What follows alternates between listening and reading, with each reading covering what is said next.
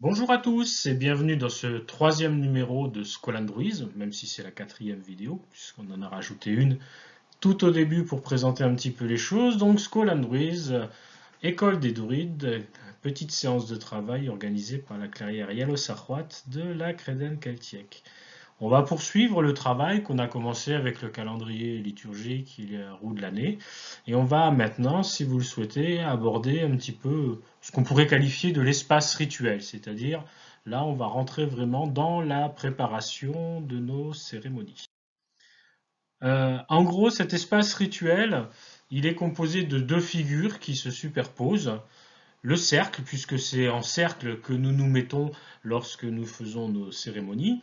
Mais en même temps, euh, il se trouve que dans ce cercle, il y a quatre directions, quatre points particuliers qui sont marqués et qui euh, dessinent finalement euh, un carré. Donc, on a un carré, en l'occurrence là en vert, qui est un symbole terrestre, qui correspond au cercle qu'on appelle d'Abred, le cercle de la nécessité, le cercle de la temporalité. Et là, je fais référence au triade bardique et à celle qui suivent la numéro 12 en particulier et à la croix druidique. Ce carré qui symbolise la terre, la matérialité, le monde temporel, il symbolise aussi euh, la stabilité et d'une certaine manière la permanence et l'immobilité puisque, on verra tout à l'heure, ce carré correspond aux quatre directions de l'espace. Alors dans les schémas que je vais vous présenter, j'aurais tendance à mettre le nord en haut. C'est peut-être une erreur puisqu'on sait que la direction de référence chez les Celtes était, euh, plutôt l'est, d'où l'expression d'ailleurs s'orienter. On s'oriente, on ne se norde pas. Et donc si j'avais voulu être complètement cohérent, j'aurais dû mettre la direction de l'est en haut. Là, en l'occurrence, j'ai mis le nord pour rester dans les schémas qui sont un petit peu les schémas connus. Euh, donc à cette temporalité, durant nos cérémonies, nous venons euh, superposer euh, le cercle alors qu'on pourrait lier au nombre 8 puisqu'il correspond à nos 8 fêtes qu'on a vues tout à l'heure. Et là, pour l'occurrence, ce cercle, euh, autant le carré il était vert pour représenter la nature terrestre, autant là le cercle je l'ai mis en bleu pour représenter quelque chose de subtil puisque ce cercle il est un symbole céleste, il est le symbole du monde spirituel qui correspond au monde blanc, le Gwenved dans la tradition celtique.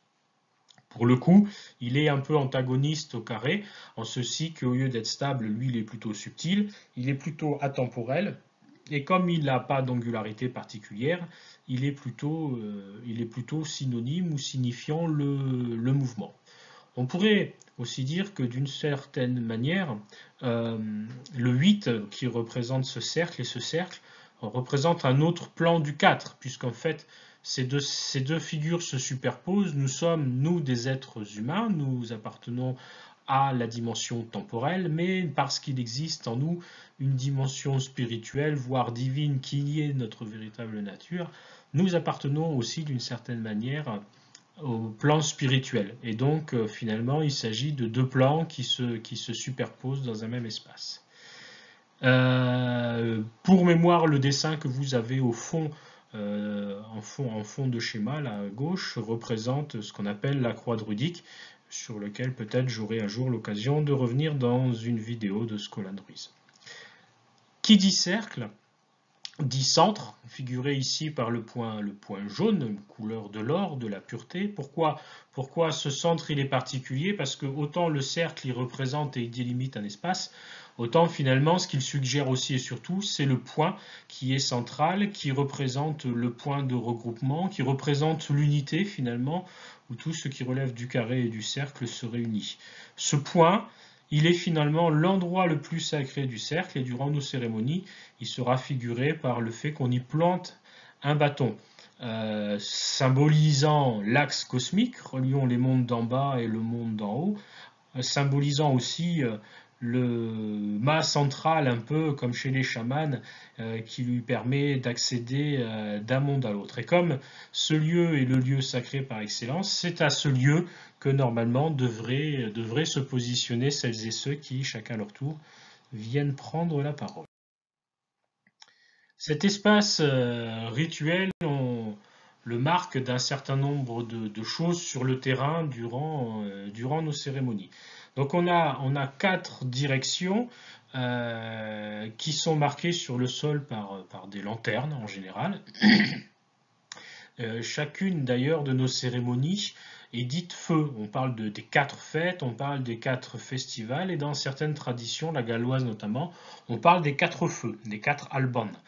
Euh, d'où l'intérêt, et on y reviendra, d'avoir une place marquée pour ces quatre directions qui seront d'ailleurs euh, euh, des places occupées par un, gardien ou un serviteur de chacune de, chacune de ces directions.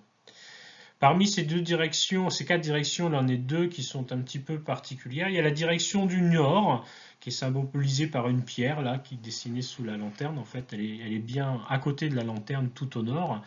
Et cette pierre euh, représentative de l'élémentaire, en fait, il représente euh, la déesse mère en général, et la divinité tutélaire féminine euh, de chacune de nos clairières dont on ne prononce jamais le nom sauf à être strictement euh, entre nous. Mais comme nos cérémonies sont ouvertes à qui le veut et qu'il est fréquent que nous ayons des gens qui viennent, alors euh, comme pour nous protéger, comme par respect pour cette divinité, nous avons simplement tendance à la, à nous adresser à elle sous son nom générique de déesse tutélaire ou de déesse mère sans, la prononcer.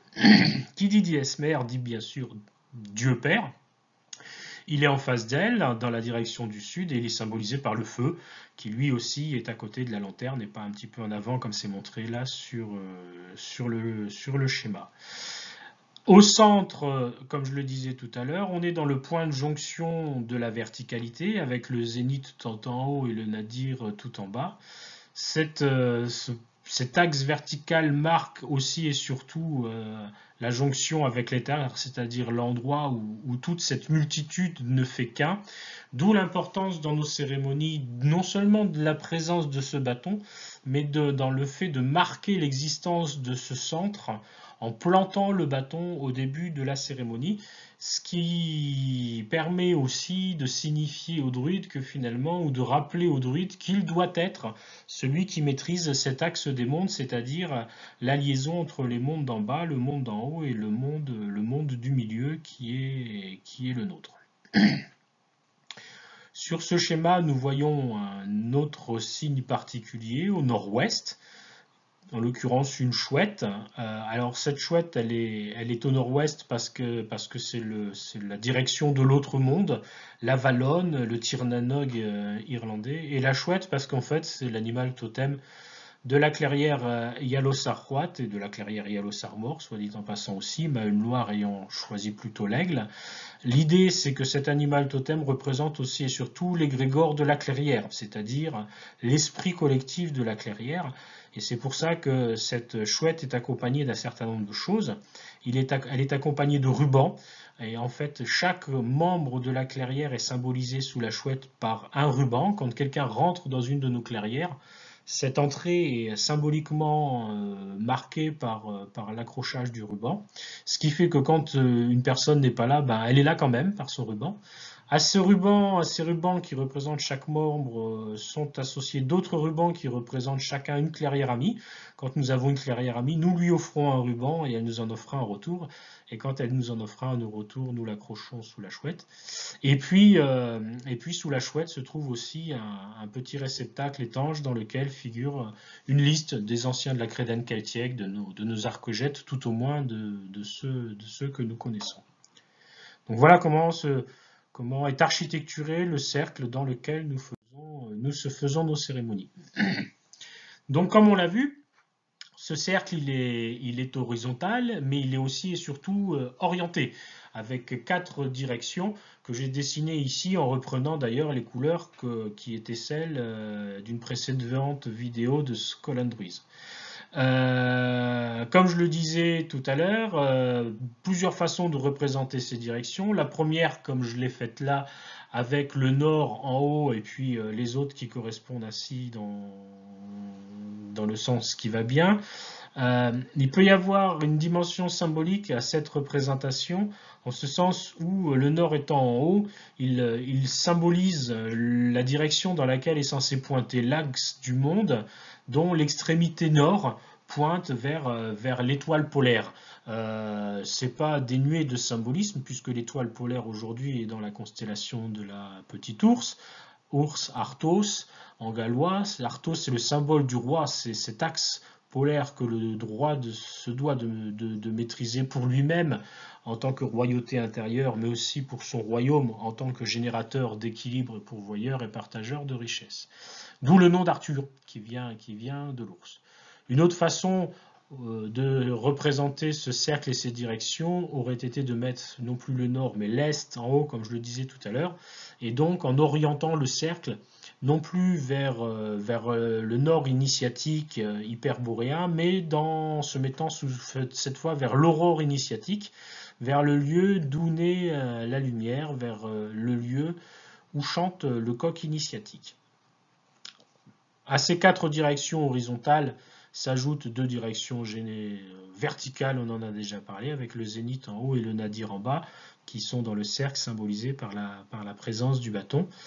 Et, euh, et voilà. Cet espace géographique, on l'a vu avec la roue de l'année, il est aussi analogue à, un espace temporel, euh, chacune de nos, directions représentant euh, des apogées des saisons qu'en l'occurrence les solstices et les équinoxes. Donc nous avons l'équinoxe d'automne qui correspond à la direction de l'ouest, en rouge à gauche sur le schéma, le solstice d'hiver qui correspond à la direction du nord, en bleu en haut du cercle, l'équinoxe de printemps qui correspond à la direction de l'est, en vert à droite du schéma, et au sud, l'été en jaune avec la direction du, euh, solstice d'été. Euh, durant euh, le déroulement de l'année, finalement, on se rend compte que c'est comme si, d'une certaine manière, nous cheminions le long de ce cercle, d'où la notion de roue, mais d'où la notion de roue en plus qui roule et qui se répète. Et donc cette roue est à la fois l'image de l'année, mais à la fois symbole de nos vies. D'où l'importance d'un dieu comme Lug, qui est à la fois roi dans toute sa splendeur, mais en même temps initiateur et aussi maître de la roue, il est lugus roto vertorios, comme disaient les Gaulois, celui qui meut la roue, c'est-à-dire celui qui meut euh, le cycle de nos existences. Ces directions euh, sont aussi symbolisées par des particularités. Euh, au nord-ouest, nous avons donc entre l'équinoxe et le solstice la fête de Samonios, qui a pour un symbole particulier le, chaudron notamment, le chaudron qui est mu durant la cérémonie par euh, la déesse Corridwen, qu'on appelle la Noire, ou la Kayar, comme disent les Écossais, et qui, dans ce chaudron, va récupérer tout ce dont on veut se débarrasser de l'année, ce dont on a déjà parlé lors d'un précédent Scolan Ruiz. À Génie Malacta, par exemple, eh ben, euh, on va, ça va correspondre à la bûche la bûche euh, qui est devenue la bûche de Noël. Alors avant d'être un bon gâteau au chocolat, la bûche de Noël c'est une vraie bûche en bois qu'on mettait à l'intérieur du feu comme pour rendre la lumière au soleil et l'aider à naître à naître vraiment. Et cette bûche elle n'était pas faite n'importe comment, elle était mise au feu par le plus jeune et fabriquée par le plus ancien, ou le contraire, fabriquée par le plus ancien et mise au feu par les plus jeunes. L'idée étant de symboliser aussi la notion de continuité. La roue des existences étant aussi le symbole de la roue entre les générations. Nous retrouverons aussi le chaudron, mais cette fois non plus pour récupérer euh, ce dont on veut se débarrasser, mais pour contenir l'eau lustrale à Ambivolchios. On retrouvera aussi au sud-est les deux feux de Bellotenia, euh, etc. Durant nos cérémonies, et pour rester sur les considérations un petit peu, un petit peu matérielles, euh, on a l'habitude euh, de, faire, de faire des offrandes euh, qui seront des fois offertes au feu dans le chaudron qui est placé avec le feu euh, au sud, soit offertes à la terre donc plutôt au nord. Et parce que ces offrandes vont être soit enterrées, soit brûlées, il importe qu'elles soient faites de matière naturelle. Il importe aussi qu'elles soient confectionnées, c'est-à-dire qu'il ne s'agit pas de prendre simplement quelque chose dans la nature et de l'offrir au feu ou à la terre. Il s'agit aussi de l'imprégner de l'intention que l'on veut, veut mettre soit soit en reconnaissance, soit en, remerciement. Et donc, il est important pour marquer euh, cette offrande de l'empreinte de nos intentions, qu'on fasse l'effort de la confectionner soi-même, ce qui permet en plus de s'accorder un temps euh, où on pense vraiment à, cette, à ces remerciements et, à cette reconnaissance. Et ces remerciements et cette reconnaissance, eh ben, on va le retrouver aussi dans la façon de faire l'offrande. Il ne s'agit pas de la balancer sauvagement dans le feu, ni euh, négligemment dans un trou euh, destiné à, la terre. Il s'agit vraiment euh, d'être dans une posture de reconnaissance et de gratitude. Ensuite, dans nos cérémonies, rares sont les prières où on demande les choses. On considère que la vie, elle est bien faite, que les choses qui se présentent à nous sont celles qui nous sont nécessaires pour notre propre évolution. Donc l'essentiel de nos offrandes seront des offrandes de reconnaissance et de gratitude. Pour continuer dans le symbolisme, on a vu les directions, on a vu les fêtes, on peut aller plus loin en disant bah, on va aussi mettre euh, dans, dans, dans, cette, dans ce cercle, dans ce carré, euh, les éléments. Et donc on va retrouver au nord l'élément terre avec l'hiver, à l'est l'élément air avec le printemps, au sud l'élément feu avec euh, l'été, et à l'ouest l'élément eau avec l'automne. J'insiste ou je, je, précise que dans certaines clairières, et en particulier Noire par exemple à la Crédenne Celtique, on a tendance à inverser la position de la terre et de l'eau. À ce stade, je dirais que ce n'est pas très très grave. Ce qui importe, c'est que les quatre éléments soient présents, parce que ces quatre éléments, ils sont présents en nous aussi, et il faut qu'ils soient présents également autour du cercle, comme il faut qu'ils soient également présents à l'intérieur de nous. Un des travaux des travaux pardon, qui, sont intéressants à faire quand on parcourt la roue de l'année, c'est aussi d'aller chercher en soi qu'est-ce qui relève euh, parmi nos qualités et nos défauts de chacun des éléments pour essayer de voir lequel est plutôt en trop et lequel est plutôt en moins, et ajuster les choses de manière à tendre vers l'équilibre, cet équilibre étant symbolisé par le centre, où on placera le cinquième élément, l'éther, nouifré dans la tradition des druides, qui n'est pas un élément dans la tradition des druides issus des quatre autres, mais vraiment un, élément, un élément à part. Alors pourquoi cette répartition que nous proposons est intéressante? Je ne dis pas que les autres ne sont pas intéressantes, elles relèvent d'un autre symbolisme. Notre symbolisme à nous, c'est de dire que si on met la Terre au nord, c'est parce que la Terre va avec la stabilité, avec l'imagination de la nuit de l'hiver, avec tout ce qui touche à la rêverie et à la prophétie. Donc c'est analogue avec la direction du nord. On va mettre tout ce qui relève du printemps, de la sensibilité, de l'intuition, de l'intelligence avec l'air à l'est. On va mettre avec tout ce qui relève du feu, de la lumière, la force, la logique, l'ingéniosité, la science, donc plutôt dans la direction du sud, là où il y a la pleine lumière.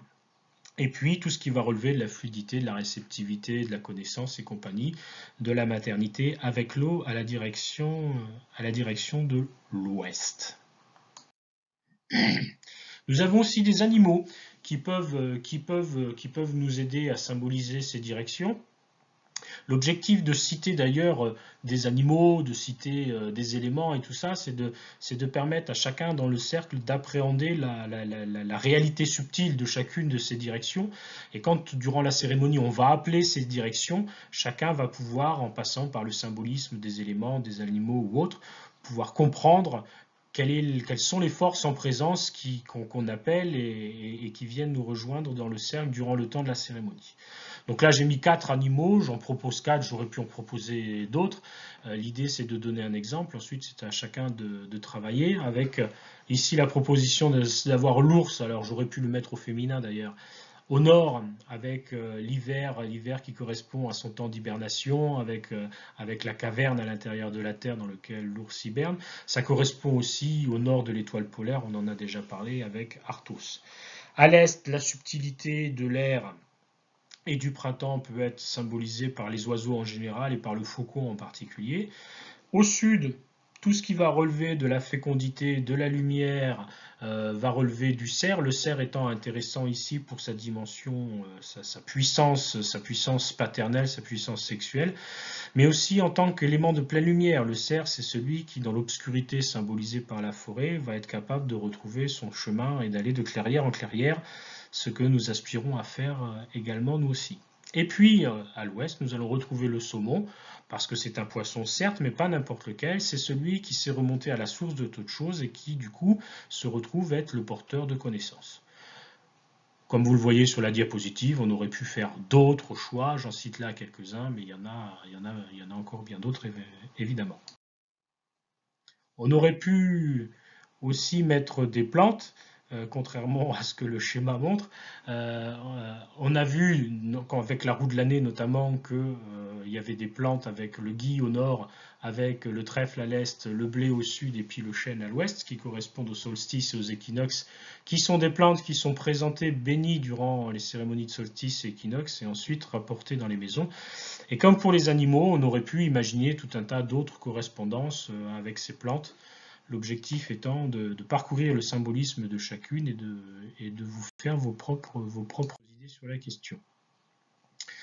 Autre élément symbolique qui mérite d'être accroché à, à, notre cercle, ce sont ce qu'on appelle les talismans. Alors là, je vous invite à vous replonger dans le, récit de la seconde bataille de Mactored, dont on a parlé avec le calendrier de Coligny. Durant cette, bataille, les Tuatha des Danann prennent le pouvoir sur l'Irlande et par, l'Irlande prennent le pouvoir sur le monde. Ce sont les dieux qui viennent, qui viennent nous civiliser en nous apportant la tradition, la connaissance et le druidisme. Mais ils nous apportent aussi quatre talismans qui viennent des îles du nord du monde avec la pierre de Phal, qui est la pierre de souveraineté, qui représente toutes les potentialités, notamment la, potentialité d'être un roi.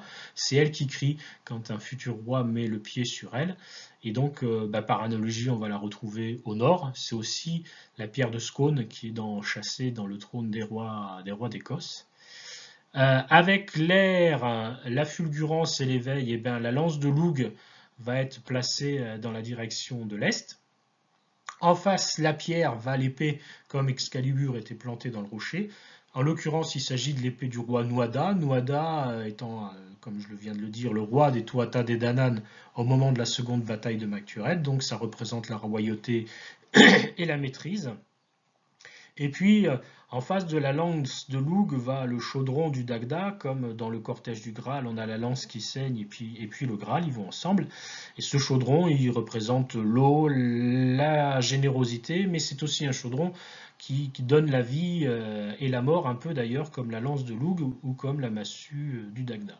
Donc là, on a affaire à quatre talismans dont la portée symbolique et même spirituelle est très très importante et c'est vraiment un un, excellent sujet d'étude dans la tradition, dans la tradition druidique, tant, ces quatre talismans peuvent nous enseigner de choses, de moyens de travailler sur nous-mêmes pour nous extraire de la matérialité et, tendre, vers le sacré. Et puis, bien sûr, des divinités, j'en cite là quelques-unes, j'aurais pu, euh, en mettre d'autres.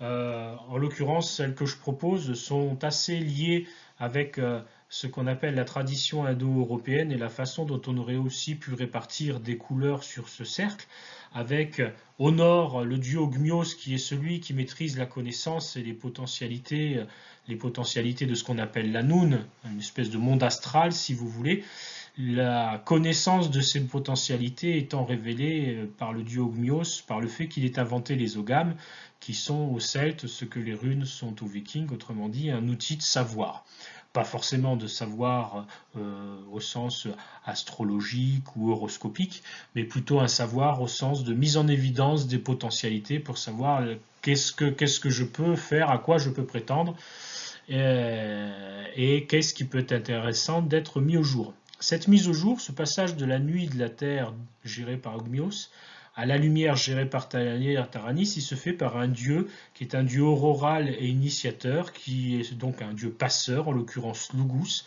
qui nous permet de passer du noir au blanc. Et donc, bon là, Lugus, il est mis en vert pour reprendre les couleurs qu'on a déjà vues, mais on aurait pu mettre Ogmios en noir, Taranis en blanc, et là, Lugus aurait été en, rouge au sens, euh, au sens initiateur. On est passé de l'obscurité à la lumière, et donc en pleine lumière, on va avoir le dieu Taranis, qui est un dieu lumineux. Alors c'est le dieu de la foudre, mais pas une foudre, plutôt une foudre initiatique, c'est-à-dire une foudre qui va libérer les eaux du ciel, qui vont venir féconder euh, toute la puissance de la terre. C'est le Dagda dans la tradition, irlandaise. le terme Dagodewos, souvent utilisé euh, sur le continent, étant une traduction du mot Dagda, mais le mot Dagodewos n'a jamais été retrouvé ou attesté par les, par les historiens et les archéologues.